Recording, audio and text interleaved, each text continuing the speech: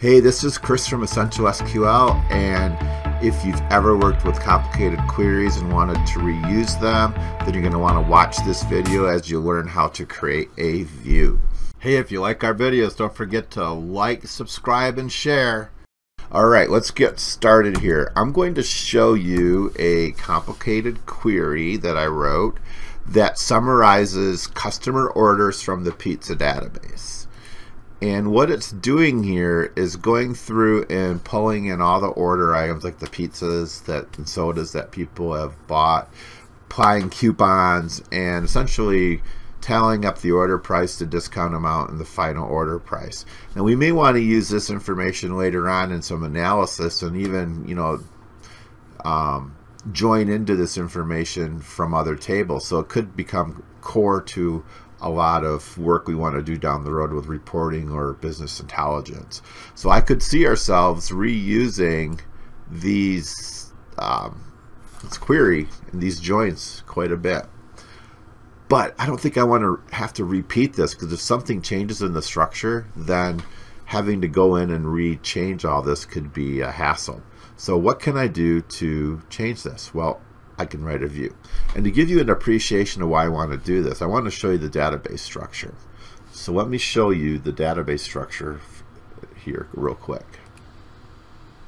So what we're up against here is trying to pull together data from a collection of five some tables, starting with customer order, and then customer, the coupon, the product, and the order item, and summarizing that data. And having to repeat all these joins over time well a you know introduce a lot of opportunity for errors and b you know it's a lot it's kind of boring to have to keep retyping it. And then if if i ever change the structure of my database i'm gonna have to then go and hunt down every time i had put these joins together figure that out and rechange those queries to accommodate the new table structure.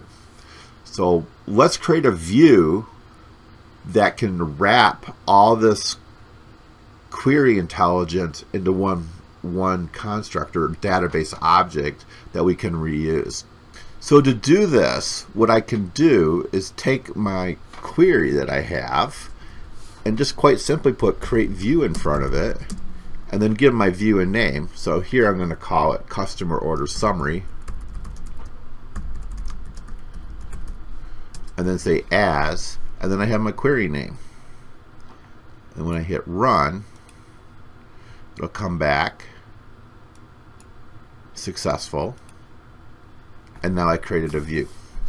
So let's try using it. And to do that I can just say select star from customer order summary. Let me highlight just this part and run it. And now you can see that instead of having to go through and do all these joins to get my result, I can just simply now query my view, which is kind of like a pre-canned query, and it will now automatically run all those joins for me and get my result. So that's pretty cool. That's how you can create the view. So one last thing before you leave, what I want to show you is how you can do this in both MySQL and Postgres. So it's surprisingly the same. So in MySQL, or in, I'm sorry, in SQL Server, it's create view customer order summary as. Postgres, create view, customer summary as, get rid of the one because I was playing around with different names, and the same thing with MySQL.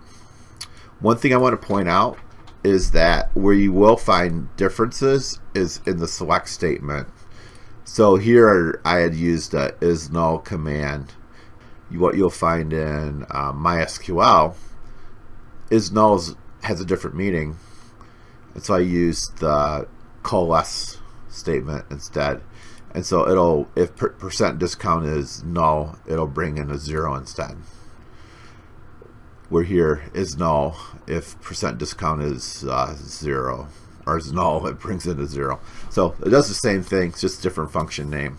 And that's the thing you usually battle with when you're working with the different uh, database management systems. So now you've seen how you can create a view using SQL Server, Postgres, MySQL. You've seen that it's not that hard. There are other options you can use to create a view. I just wanted to show you how you can do it the quick and dirty way, get the low hanging fruit, that there's no mystery to it. I hope you liked this video. Um, please subscribe so you can get more of my videos. I do go into deeper topics at times. And um, please uh, share my site with others. I really appreciate it and have a good day.